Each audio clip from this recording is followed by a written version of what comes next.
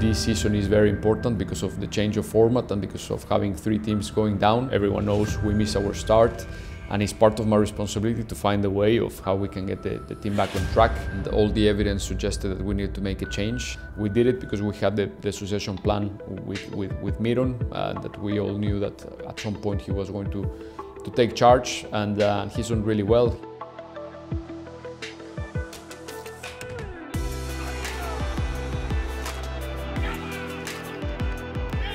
Hungry, greedy, but humble.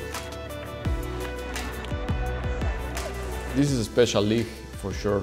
It's very unpredictable, anything can happen, it's super competitive. We knew that this season was a very important season and therefore we decided to keep the team together despite, despite having several interests in some of our players.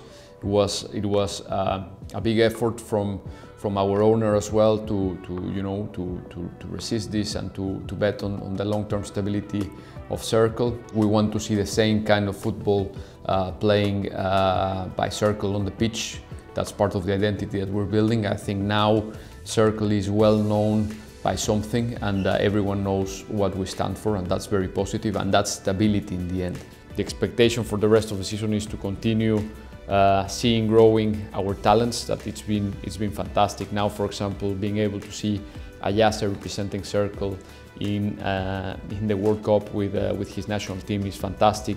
Having nine national team players called up to their teams this season is really good and it's a good sign of our strategy. Now seeing players linked um, to big big teams in the news you know it's, it's a proof that, that we're going in the right direction and we want to continue that and the only way to continue that is by being consistent be, being consistent with our performances being consistent with our results and, and that's the main expectation for, for the second half of the season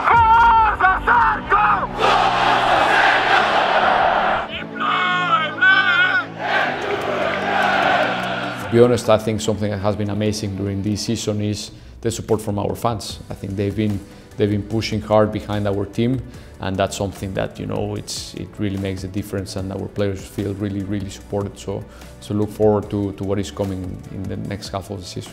I think we expect to bring probably one or two players, and uh, we're also trying to find some solutions for the players that are not playing that much. So there will be some movement.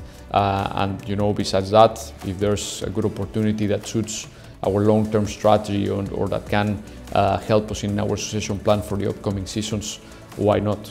With Dino, we have we have been speaking uh, over basically almost a year about the contract extension. He knows our possibilities. He knows what we can do. The offer is in the table and uh, now it's going to be up, up, to him what he what he wants to do uh, in the future of his career. It's going to be up to him. We're in a stage where it's just his decision if he wants to stay or not.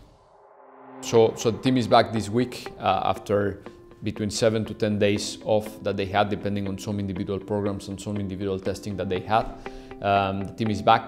Uh, training will will resume until the weekend, and then on Sunday we're going to to Spain. We're going to have a training camp together with Monaco uh, where we will be able to exchange, you know, to continue exchanging practices, to, to, to share our, our knowledge and support between both organizations, both teams.